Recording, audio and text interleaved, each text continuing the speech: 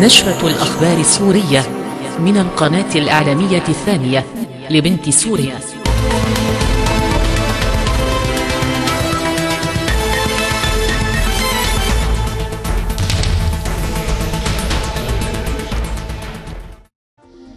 الأخبار الواردة من سوريا تشير إلى احتدام المعارك في ريف إدلب بين مقاتلي الدولة الإسلامية في العراق والشام المعروفة بداعش وبين ألوية المعارضة المقاتلة. أسئلة كثيرة تطرح حول الأسباب الحقيقية التي تقف وراء اندلاع هذا القتال العنيف بين رفاق السلاح المعارض وتوسعه إلى مناطق جديدة. البعض يرجح الأسباب أو يرجع الأسباب إلى الخلاف العقائدي لكن ماذا عن القتال بين داعش وجبهة النصرة؟ البعض يتحدث عن خلفيات سياسية ترتبط بمؤتمر جنيف اثنين المقبل تحت عنوان تحسين الشروط الميدانية لقوى إقليمية. ترعى هذا الفصيل أو ذاك في المعارضة المسلحة. وفي كلتا الحالتين يبدو أن الائتلاف المعارض في وضع لا يحسد عليه. رئيسه أحمد الجربة أعلن القبول بالذهاب إلى جنيف اثنين لكنه وضع شروطا مسبقة. هذا في الملف السوري. أما في الملف العراقي فمسلسل التفجيرات لم يتوقف. اليوم كان استهداف لأحد النواب المسيحيين في كركوك. أما انتخابات إقليم كردستان فنتائج تظهر تقدما لحزب البرزاني.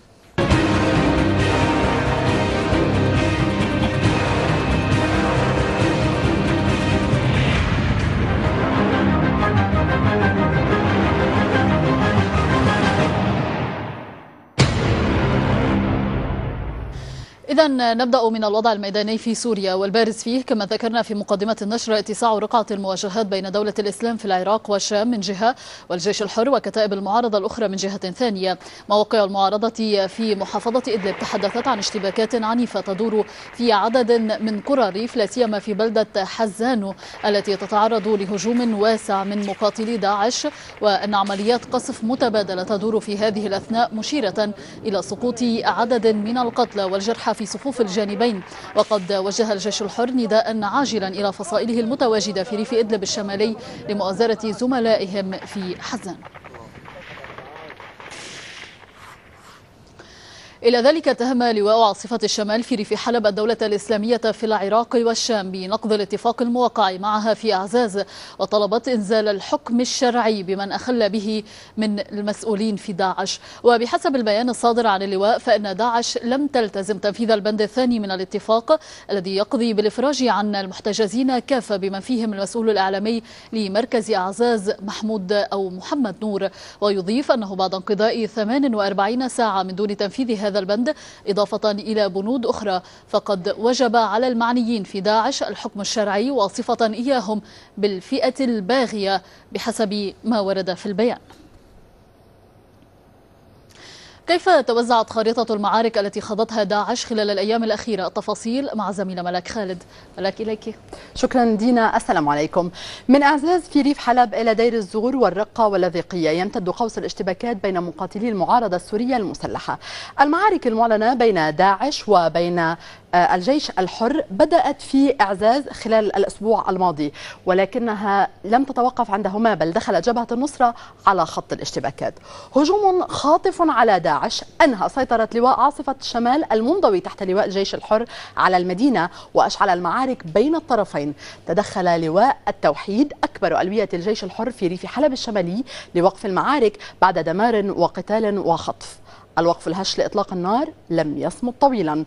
انتقلت المعارك في حلب إلى عندان وحريتان وصوران وأيضا إلى قرية المريمية في غرب أعزاز. وهذه المدينة أي أعزاز لا زالت تحت سيطرة داعش ولكن معبر باب السلامة هو تحت سيطرة لواء التوحيد وهو المعبر من حلب إلى الأراضي التركية.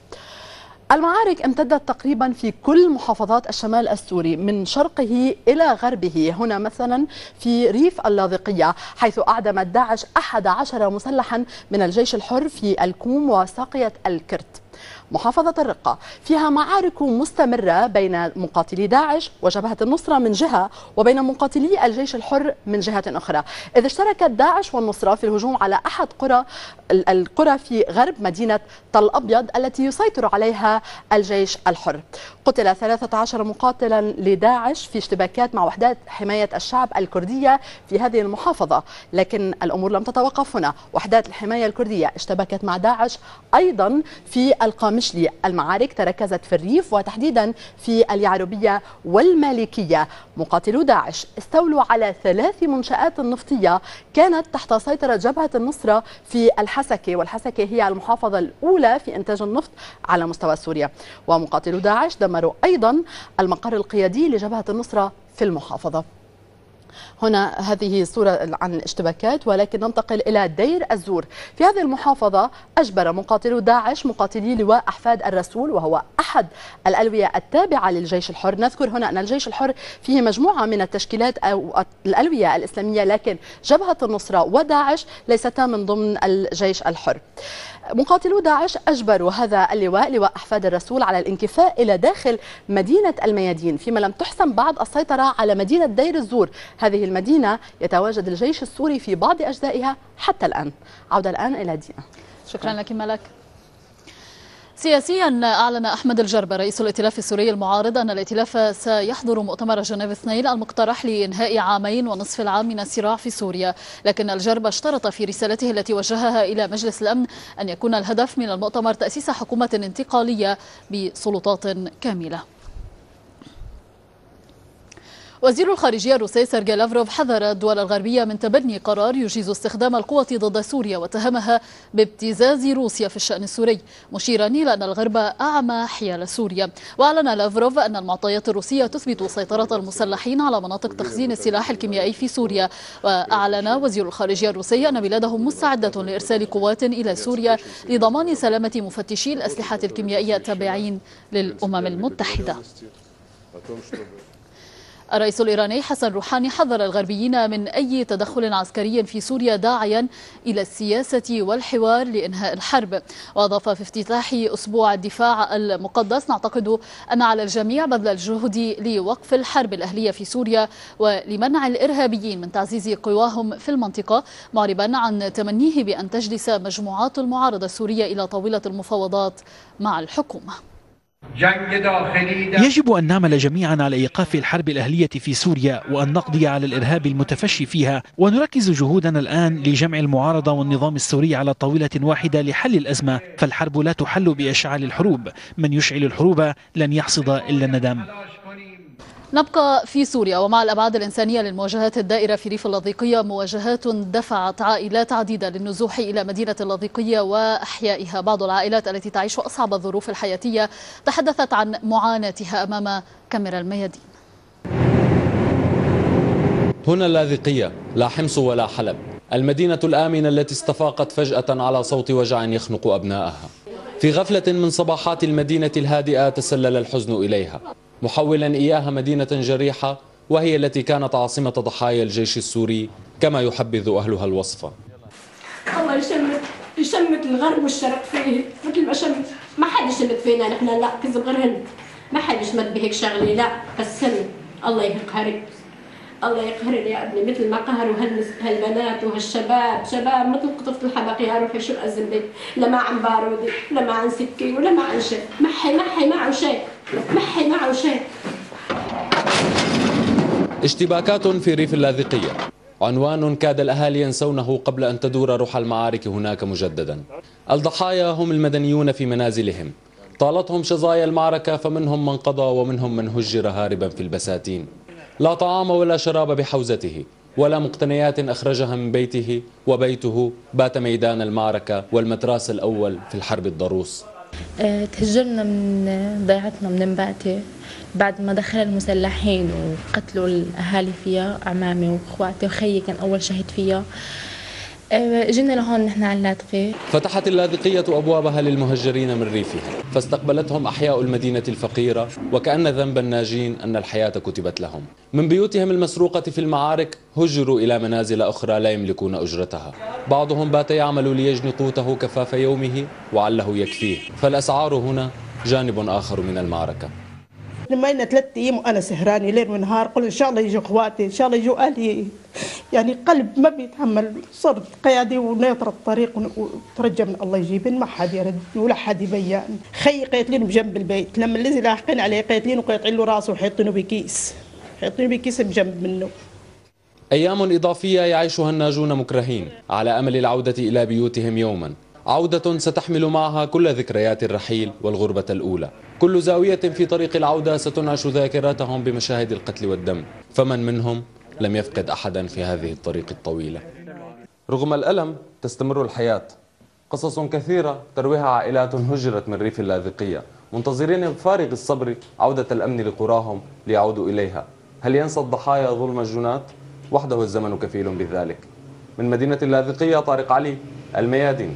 الدكتور وائل حلقي رئيس مجلس الوزراء خلال ترأسه اجتماع المجلس الأعلى للتخطيط الاقتصادي والاجتماعي يوجه الوزارات والجهات العامة إلى ضرورة استكمال المشاريع ذات الجدوى الاقتصادية الكبيرة والتي وصلت نسبة إنجازها إلى 60% والحلقي يؤكد رصد 50 مليار ليرة لبرنامج الإغاثة وإعادة الأعمار في موازنة العام 2014 القادم.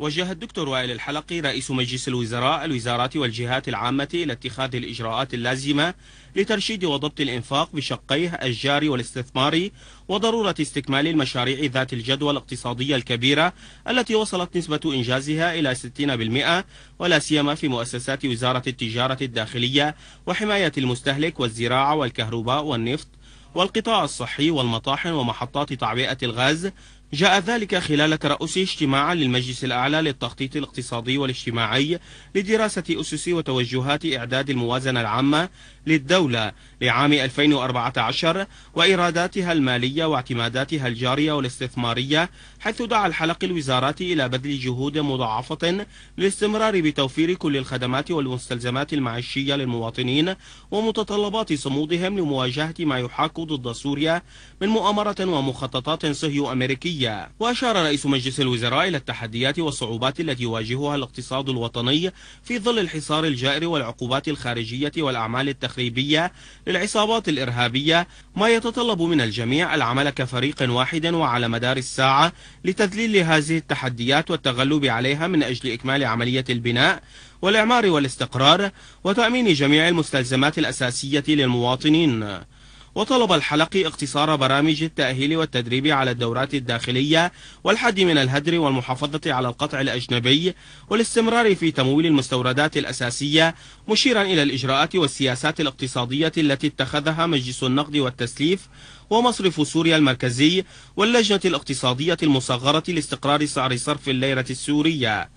وشدد الحلقي على ضرورة بذل المزيد من الاهتمام بالصناعات الغذائية وزيادة الاستثمار فيها وتوطينها حسب إنتاج كل محافظة وإمكانية وضع دراسة أولية لإنشاء معامل للعصائر المركزة في المنطقة الساحلية وتأمين مستلزمات نقل وتوليد وتوزيع الطاقة الكهربائية وزيادة مراكز خدمات المواطنين في محافظتي طرطوس واللاذقية والعمل على متابعة مشروع النفايات الصلبة في اللاذقية وأتمتة مديرية المصالح العقارية وتطوير قطاع النقل البري والبحري والجوي وإصلاح ما تم تخريبه من العصابات المسلحة والاستمرار بتأمين المستلزمات التعليمية للطلاب في قطاعي التربية والتعليم.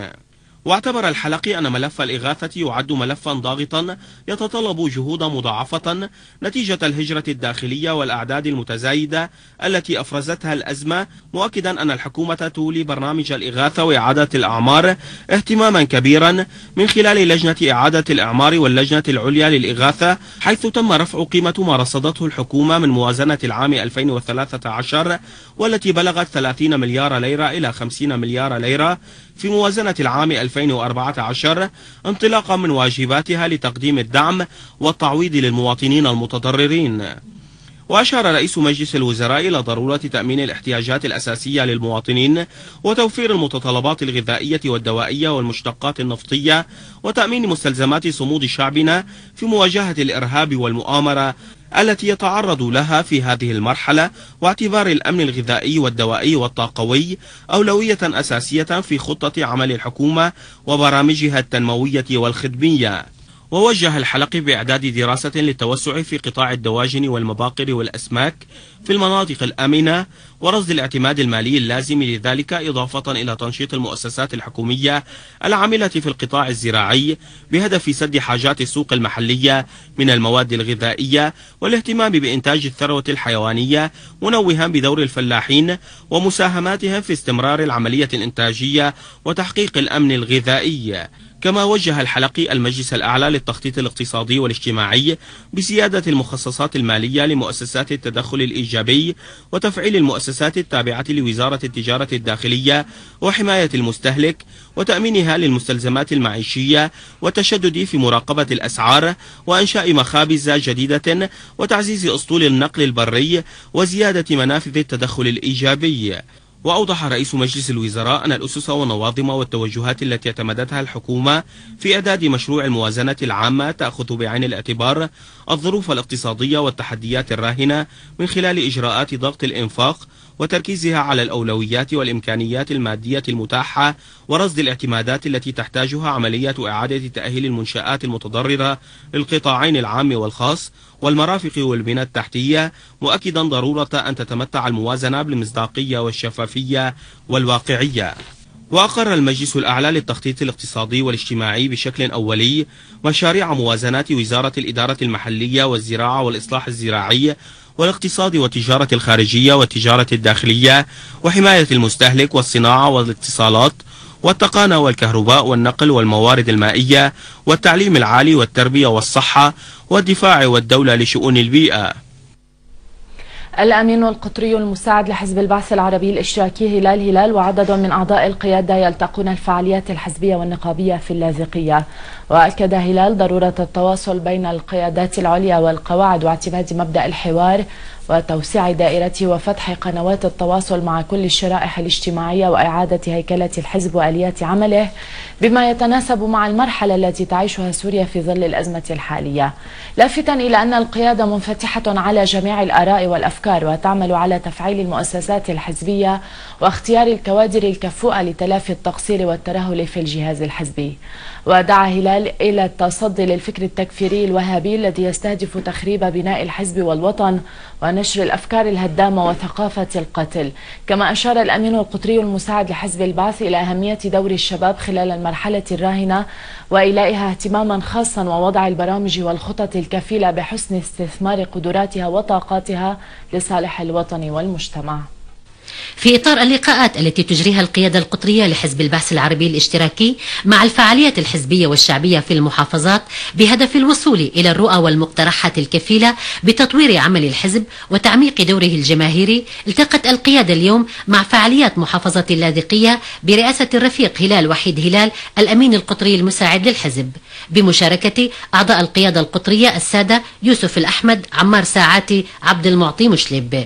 وتركزت أعمال اللقاء حول آفاق تطوير العمل الحزبي والشعبي وآليات الوصول إلى فعالية أكبر للعمل الحزبي في المجتمع وبين الناس لا سيما في ظل الأزمة الراهنة التي تمر بها البلاد. وأكد الأمين القطري المساعد على أن حزب البعث الذي أسس الدولة العصرية بمقوماتها ومؤسساتها يمضي في مسيرته النضالية معتمدا على صمود الشعب وتضحيات الجيش وحكمة وشجاعة السيد الرئيس بشار الأسد.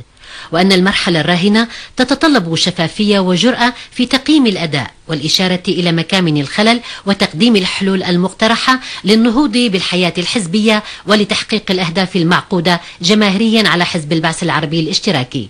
ما طرح ولاحظنا من بعض الطروحات فعلا غيرية حقيقية على تطوير الأداء العمل الحزبي والارتقاء بأداء العمل الحزبي.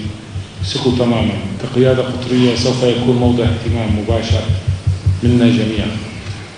وأحب أن أطمئن الجميع. ثقوا تماما. نحن في هذه القيادة القطرية. همنا الأساسي أن نوجد أدوات حقيقية صالحة فاعلة جيدة لتطوير الأداء في هذا العمل. لأننا مقتنعين أن لا يمكن لقيادة حزب أن تكون فاعلة ونشيطة وبدون أدوات فاعلة على الأرض. وأكد الرفيق هلال أن أعداء سوريا يستهدفونها من خلال استهداف حزبها بأهدافه النضالية وفي على العصابات الإرهابية التكفيرية التي تمارس أبشع الجرائم بأدواتها الخارجية التي تدعمها بفبركات لتضليل الرأي العام ولنشر الفكر التكفيري الظلامي. وأشار إلى أن جيشنا الباسل والكتائب البعثية تقدم صفحات مشرفة في الدفاع عن الوطن وأن جماهير الحزب تنتظرها مهام جسام خلال المرحلة الراهنة لتتوج سوريا بنصرها الكبير القريب إن شاء الله. حضر اللقاء السيدان محمد شريتح أمين فرع الحزب وأحمد شيخ عبد القادر محافظ اللاذقية.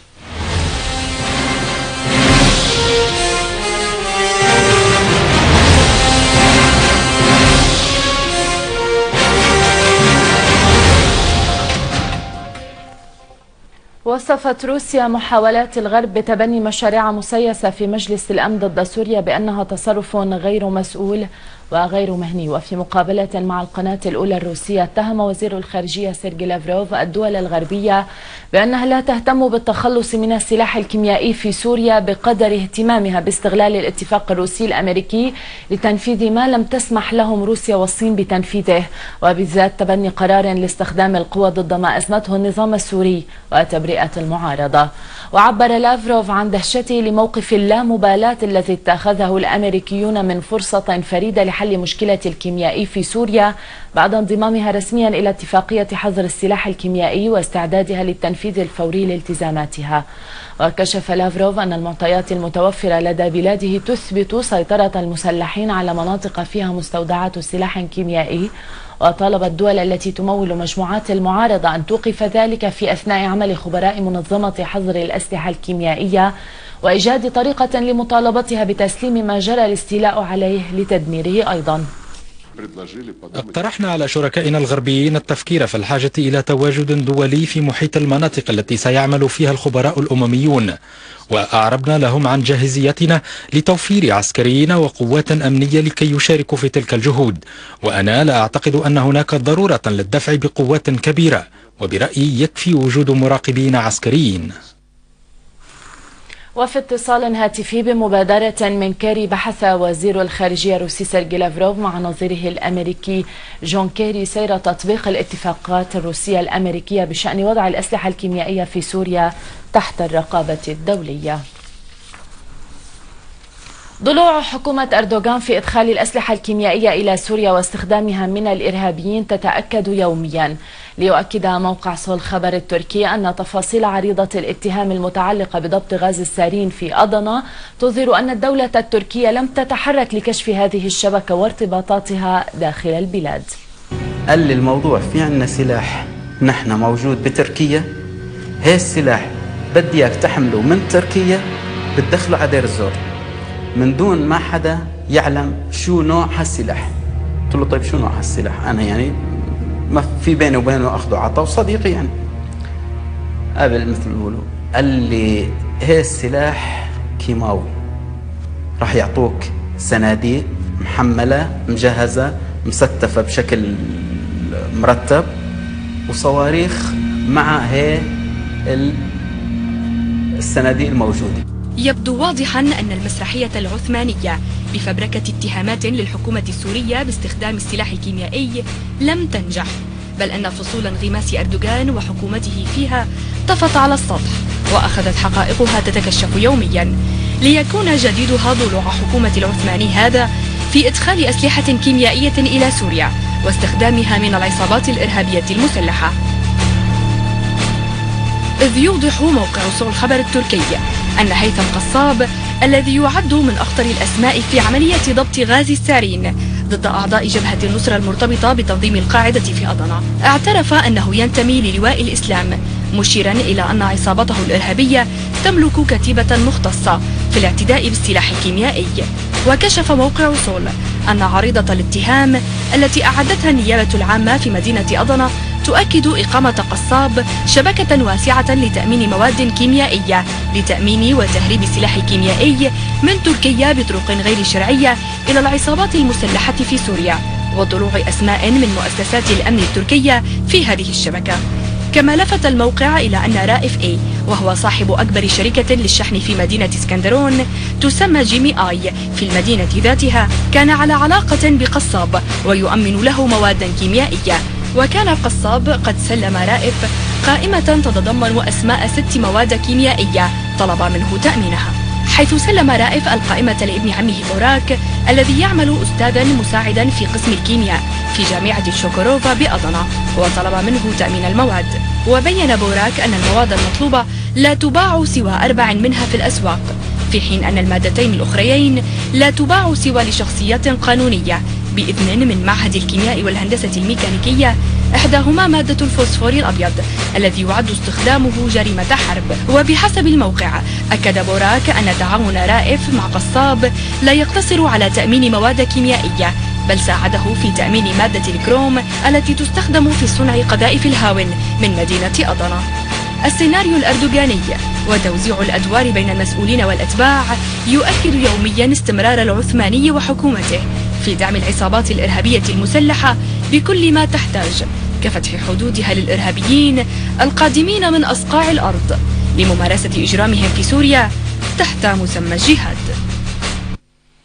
تركيا كما يؤكد السياسيون ومعظم الشعب تتعرض للإرهاب نتيجة دعمها للعصابات الإخوانية التكفيرية في المنطقة ونتيجة لسياسات أردوغان وحكومته العدائية تجاه الأمة العربية والدول الإقليمية. حكومة العدالة والتنمية بنت سياساتها الإقليمية على انتصارات منتظرة لجماعة الإخوان الشياطين في سوريا ومصر وباقي دول ما يسمى بالربيع العربي. وقدمت لهم كل أنواع الدعم لتحقيق الانتصارات فكانت المفاجأة. من دعمتهم ارتدوا عليها فحصدت تركيا ثمار ما زرعت من إرهاب. فشل السياسات الخارجية لحكومة العدالة والتنمية. يبدو جليا من خلال الهجمات الإرهابية التي بدأت تعصف بتركيا. نحن نعلم علم اليقين أن المجموعات المسلحة التي دعمتها حكومة أردوغان في سوريا هي من قامت بعملية الريحانية التي راح ضحيتها أكثر من خمسين مواطنا تركيا. في النهاية كما تدين تدان. حالة من الاستياء والغضب تعم الأوساط السياسية في تركيا وذلك على خلفية سياسات حكومة العدالة والتنمية الرعناء في المنطقة التي جلبت الإرهاب إلى الداخل التركي وفرشت له البساط الأحمر على حد قول السياسيين الأتراك. بدأت تركيا تجني ثمار ما زرعته حكومة أردوغان فبدأ الإرهاب بضرب تركيا. هذا قبل أن يبدأ الجيش السوري بتنظيف المواقع الحدودية الواقعة تحت سيطرة الإرهابيين. فكيف لو يبدأ بهذه العملية؟ ستكون تركيا في مأزق كبير حيث ستكون أمام تدفق مئات من عناصر تلك المجموعات الإرهابية. فمن قتل السوريين سيقتل الأتراك أيضا. بعد هزيمة الإرهابيين في سوريا على أيدي رجال الجيش العربي السوري ستحاول تلك العصابات الإجرامية الانتقام من حكومة العدالة والتنمية لأنها لم تقم بتدخل مباشر لإنقاذهم على اعتبار أنها الراعي الرسمي لهم. فتفجير الريحانية ومركز الأمن يعد أول الغيث. حكومة أردوغان حصدت ما زرعت إلا أن الشعب التركي لا يستحق أن يعاني من الإرهاب مثل ما عانى الشعب السوري. الريحانية كانت وردة الدم الأولى في مسلسل الإرهاب داخل تركيا الذي قد تطول حلقاته كالمسلسلات التركية. أديب عبد الفتاح التلفزيون العربي السوري أنقرة. إرهاب أردوغان تجاوز سوريا إلى مصر. مصدر عسكري يؤكد أن الجناح التركي في التنظيم الدولي لجماعة الأخوان المسلمين يدعم الجماعات الإرهابية في سيناء. وبعد رفض المصريين للمليارين المشبوهين اللذين قدمتهما قطر النائب العام المصري يحيل بلاغا مقدما من محامين مصريين ضد زعامات مشيخة قطر للتحقيق في اتهامهم بالتحريض على جرائم القتل التي تشهدها البلاد. الأردوغانية في مغامرتها حتى النهاية فتدعم داعش وجبهة النصرة في سوريا ولا تتردد بإرسال السلاح إلى الإخوان في سيناء للضغط على الدولة المصرية التي حسمت خياراتها في مواجهة الإرهاب. إحنا كلنا بالنسبة لأهالي كرداسة كلها في غاية السعادة وفي غاية الاطمئنان من ساعة الشرطة والجيش ما نزل.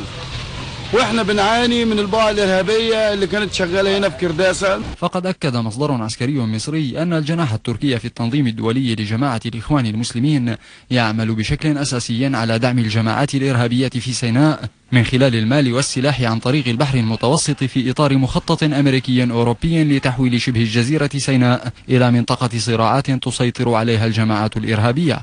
وقال المصدر إن القوات المسلحة المصرية تكثف جهودها للبحث عن متورطين في توريد أجهزة اتصال ومعدات عسكرية إلى الجماعات التكفيرية المتطرفة شمال سيناء بعد ضبط كميات كبيرة من أجهزة الاتصال الحديثة الأسبوع الماضي قبل دخولها إلى مدينة العريش. ذلك بعد أن لجأت العصابات التكفيرية إلى استخدام أجهزة اتصال متطورة. يمكنها تلقي إشارات عن بعد 30 كيلومترا. ولفت المصدر المصري إلى أن التحريات المبدئية ترجح أن تلك الأجهزة قادمة بشكل غير شرعي من تركيا عبر البحر.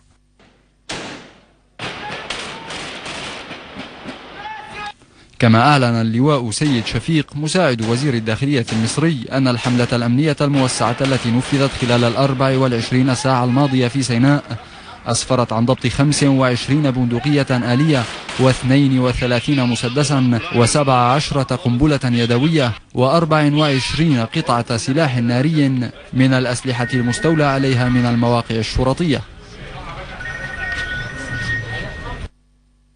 أما على الصعيد الاقتصادي فقد أكد جودة عبد الخالق وزير التموين المصري السابق أن الدور القطري المشبوه تجاه مصر أصبح جليا وسقطت الأقنعة وانكشفت الحقيقة المتخفية وراء ستار مساعدات مصر والتي هي في حقيقتها تنفيذ لمخطط أمريكا لتقسيم مصر مؤكدا أن قطر كانت تخطط لتنفيذ نفس الدور الذي تقوم به في سوريا لإسقاط الدولة من خلال دعمها للمجموعات المسلحة.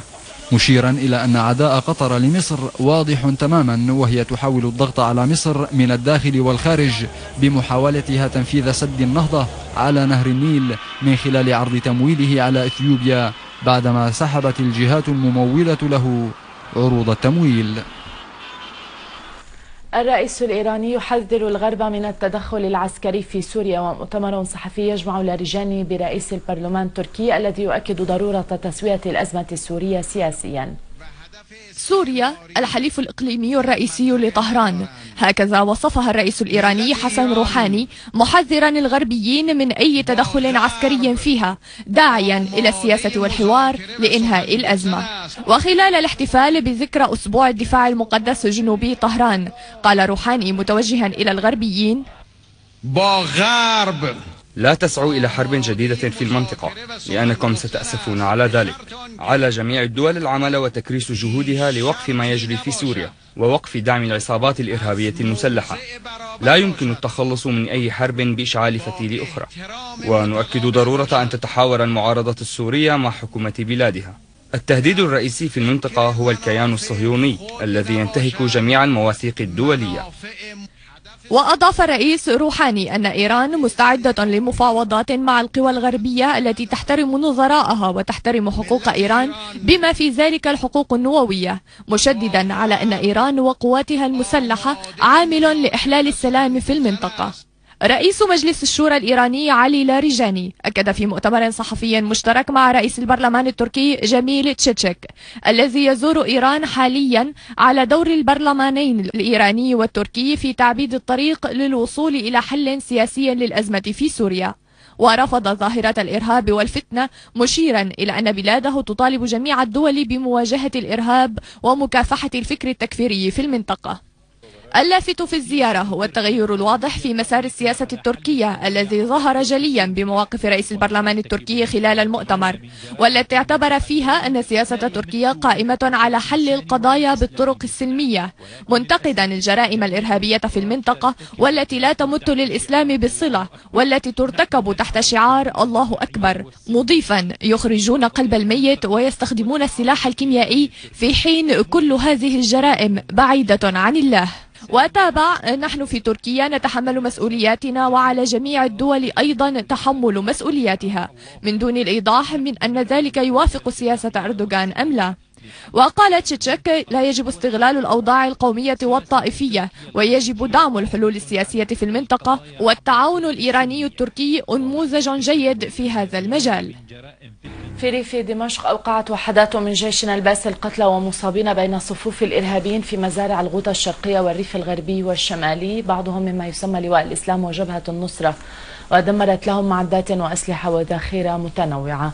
وذكر مصدر عسكري أن قواتنا المسلحة اشتبكت مع عصابة إرهابية في محيط جامع العمري بحي القابون وجنوب شرق دوار المناشر ومحيط شركة الكهرباء والكورنيش الوسطاني في حي جوبر. ما أدى إلى مقتل وإصابة عدد من الإرهابيين وتدمير كاميرتين نصبهما إرهابيون بقصد مراقبة ورصد تحركات الجيش قرب تجمع المدارس في جوبر. وأضاف المصدر أن وحدة من جيشنا الباسل لاحقت عصابة إرهابية جنوب شرق مؤسسة المياه في حرستا وقضت على أحد أفرادها وقضت على الإرهابي أيمن الكشك. كما أشار المصدر إلى أنه تم القضاء على ستة إرهابيين ينتمون إلى ما يسمى لواء الإسلام من بينهم يحيى الدعاس في دوما إضافة إلى تدمير أسلحتهم وعتادهم في حين اشتبكت وحدات من جيشنا الباسل مع عصابات إرهابية في المزارع المحيطة ببلدتي شبعة وحتيتة التركمان. وقضت على المدعو أبو الجود متزعم إحدى العصابات الإرهابية المسلحة والإرهابي رأفت الحمصي.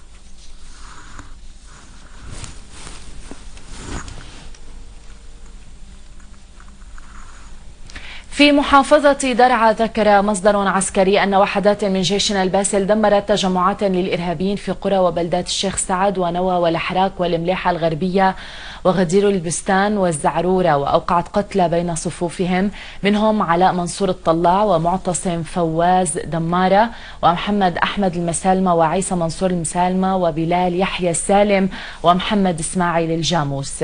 وأضاف المصدر أن وحدة من قواتنا الباسلة لحقت فلول المجموعات الإرهابية في بلدة عتمان بريف درعا وأوقعت العديد من القتلى بينهم. إلى ذلك أفاد المصدر أن وحدة أخرى لاحقت فلول الإرهابيين في بلدة رفيد بريف القنيطرة وقضت على العديد منهم بينهم الإرهابيان سليم الجمعات وشاهر حمدان. وفي الريف الشرقي لحمص تواصل وحدات جيشنا الباسل ملاحقة فلول العصابات الإرهابية المسلحة. الريف الشرقي لمحافظة حمص نقطة وصل استراتيجي هامة تصله مع ريف حماة وبادية تدمر وصولا إلى الدول المجاورة كالأردن والعراق. ونظرا لهذه الأهمية يستمر الجيش العربي السوري في دك أوكار المسلحين وقطع طرق الإمداد عنهم. أعزائي المشاهدين نحن الآن نتواجد في الريف الشرقي بمدينة حمص وعلى أطراف محافظة حماة. كما نعلم أن الجيش العربي السوري بالأمس أعاد الأمن والأمان إلى قرى السلطانية وسلام شرقي وسلام غربي وهي جميعها تقع شرقي حمص. لكن المجموعات الإرهابية المسلحة تحاول الدخول مجددا إلى تلك القرى والسيطرة عليها من جديد. وتأتي الأهمية الاستراتيجية لتلك القرى تأتي من كونها من كونها نقطة عبور للمسلحين أو طريق إمداد للمسلحين. المسلحين من الشمال باتجاه الجنوب. هذا أولا. وكما أيضا يمكن أن تكون الطبيعة الجغرافية للمكان قد تفرض صعوبات محددة ومعينة على المعركة على المعركة. وتأتي أيضا أهمية تلك المنطقة باعتبارها تفصل بين الريف الشرقي للسلمية والمخرم الفوقاني وصولا إلى تدمر.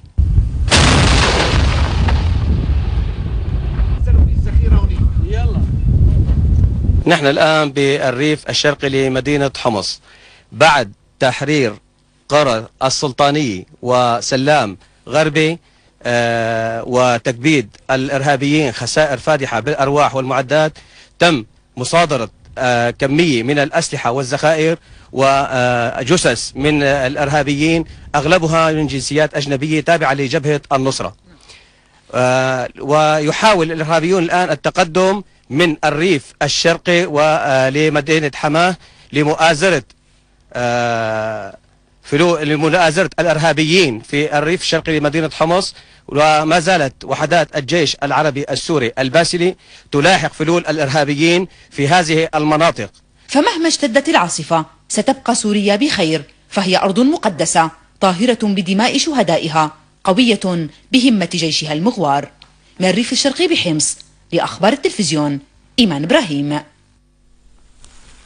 وفي حمص أيضا ضبطت الجهات المختصة كميات من المتفجرات ومواد مخدرة كانت مخبأة داخل سيارة في منطقة الوعر بمدينة حمص وألقت القبض على إرهابيين على إرهابيين كانا بداخلها.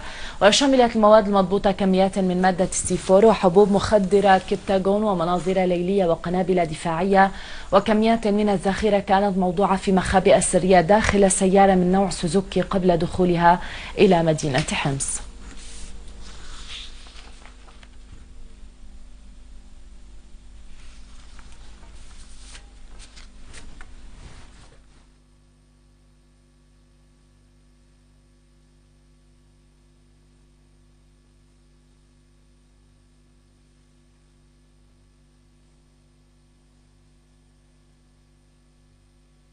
القوات العراقية تواصل عملياتها في ملاحقة فلول تنظيم القاعدة الإرهابي وذيوله قرب الحدود السورية وتحبط عملية تهريب مواد مختلفة إلى العصابات الإرهابية في سوريا. وبينما قبضت القوات العراقية على أربعة من أمراء تنظيم القاعدة قرب بغداد وأربعة وأربعين إرهابيا آخرين ألقت الشرطة العراقية القبض على 969 إرهابيا في محافظة ديالى واصلت القوات المسلحة العراقية عمليات ملاحقتها لفلول تنظيم القاعدة الإرهابي والجماعات المتحالفة معه في الصحراء المحاذية للحدود السورية العراقية والمحافظات الساخنة. فقد تمكنت قيادة عمليات الجزيرة والبادية من إحباط عملية تهريب مواد مختلفة إلى العصابات الإرهابية في سوريا. بإحدى عشر سيارة تم إحراق سبع منها والاستيلاء على أروع في منطقة الدماليغ شمال مركز الوليد الحدودي. وبينما ألقت قيادة عمليات بغداد القبض على أربعة أمراء في تنظيم القاعدة الإرهابي مختبئين في شقة بمنطقة النهروان جنوب بغداد. تمكنت قيادة فرقة المشاة الثانية وشرطة محافظة صلاح الدين من القبض على 44 إرهابيا. بينهم خلية مسؤولة عن زرع العبوات الناسفة في مناطق الساحل الأيسر بمدينة الموصل وناحية الصينية في محافظة صلاح الدين. إحنا مسرورين انه ان يستعيد عافية الجيش العراقي وان يقوى يوم بعد آخر ليكون ظهيرة للعملية السياسية لفرض سلطة القانون ومن ثم فرض الأمن والاستقرار في البلد حتى نقدر نعمل السلم الأهلي. لأن بدون أمن واستقرار ما نقدر نتحاور ما نقدر نتفاهم لأنه التدخل الخ... التدخلات الخارجية دول الجوار وتناغم البعض من الداخل يمنع العملية السياسية من تطور التقدم. وهذا كان يعني هدفها انه تعرقل العملية السياسية وتسقط العملية السياسية. وفي محافظة ديالى كشفت قيادة الشرطة عن القبض على 969 إرهابيا وتدمير عشرات الأوكار ومخابئ الأسلحة للتنظيمات الإرهابية منذ بدء عمليات ثأر الشهداء في مطلع حزيران الماضي. نادي العبيدي تلفزيون العربي السوري بغداد.